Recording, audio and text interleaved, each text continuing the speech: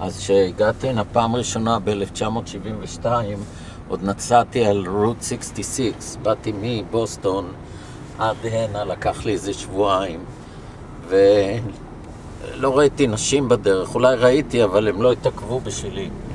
והיה פה בחור אחד, חבר, צ'לן, חתיך, תמיד הלך עם ג'קטים מקטיפה, הוא היה ladies man.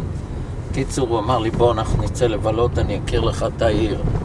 ונסענו, הוא אומר לי, תעצור פה, אני נכנס רגע, הוא נכנס לאיזה מקום, הוא יוצא החוצה, אומר, יש שם איזה שתיים יושבות, זאת שלך לא מי יודע מה, אבל יהיה בסדר. בקיצור, נכנסנו, והזאת שלי באמת לא הייתה מי יודע מה. לעומת זאת, השנייה הייתה יפהפייה, אירלנדית, עם עור לבן כזה, עם כובע לבן גדול כזה, מאוד אלגנטית, עיניים ירוקות, חמודה, פטית כזאת. והזאת שלי, לא רק שהיא לא נראתה טוב, היא גם הייתה מין קוטרית כזאת, הכל לא נראה לה, הכל לא היה בסדר.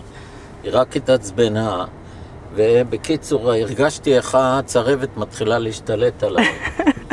ואז... אה, ועוד בשביל להוסיף לדיכאון שלי, החברה שלו לחשה לו משהו באוזן, ההיא הקטנה, הם כל הזמן התחבקו וכאלה. והוא אומר לי, החברה שלי אומרת ש... שאתה מזכיר לה את וודי אלן.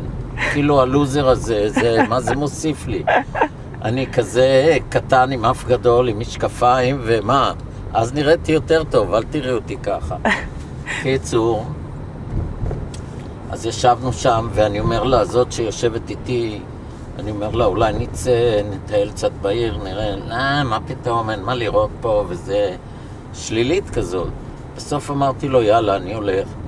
הוא אומר, אין דבר כזה, אנחנו באנו יחד, אנחנו נלך יחד. הוא היה מאה אחוז, יצא איתי החוצה. אז הוא שם עומד בצד עם האירלנדית הזאת והם אה, מתלחשים, ואני עומד בצד שני, בועט באבנים, ועם הזאתי שמוציאה לך את המצב רוח. ואז פתאום הוא מגיע אליי והוא אומר, תשמע, אני מדבר עם הבחורה פה, ואני מנסה לשכנע אותה לבוא איתי, והיא לא מוכנה, היא אומרת שאתה מזכיר לה את וודי אלן, והיא משתגעת על וודי אלן, והיא רוצה רק אותך. אז ככה זה לוס אנג'לס, אתה לא יודע מתי תתגלה פתאום. וזה בתגובה שאמרתי לך? כן. שאתה אייקון, כמו וודי אלן. כן. שמזהים אייקון. אותך מרחוק. אני אייקון, כמו הפיל מחרסינה על הטלוויזיה. וזה היו דקות של שנינות מלוס אנג'לס.